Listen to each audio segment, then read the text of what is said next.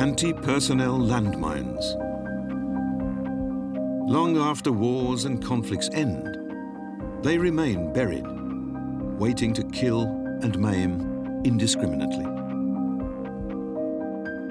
No one knows how many landmines lie buried today, but current estimates are from 50 to 100 million. This Japanese company has a long history of developing machines to remove anti-personnel landmines. It originally manufactured and sold construction machinery. But a visit to Cambodia in 1995 convinced its former president to also develop demining equipment.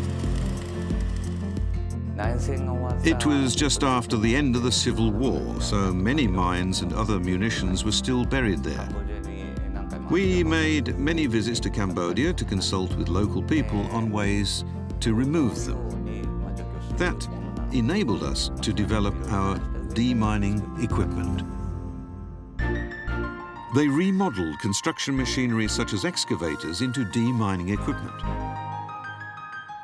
Refining their equipment involved working closely with the Cambodia Mine Action Center. This is one of their current mine-clearing machines. The attachment on the excavator arm has two functions. First, it clears away brush and vegetation, and then it destroys the buried landmines. Rotating blades crush and deactivate the mines before they can detonate. The company currently supplies its series of demining machines to 12 countries. In 2024, Ukraine began using these machines in its ongoing war. My goal is to help countries regain peaceful conditions as quickly as possible and to create a situation in which local people can live their own lives just as they wish.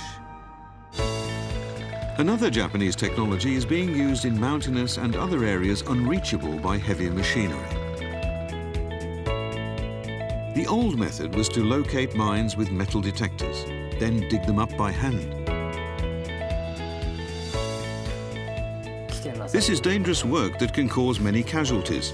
I would like them to use our robots instead, as the workers can operate them from a safe distance. Anti-personnel landmines detonate when they sense a pressure of just five kilograms. It took much trial and error to find a way to dig them up without applying such pressure. When I learned of a drilling technique using compressed air, I realized it might be a solution. This method lets us gently remove the soil without putting strong pressure on the mine. This technology allows demining to be faster and safer than that done by hand.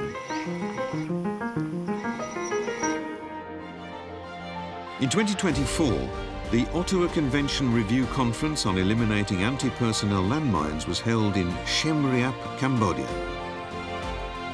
The Japanese companies demonstrated their demining innovations to experts from around the world. Japanese technology helping to realize a world free from landmines.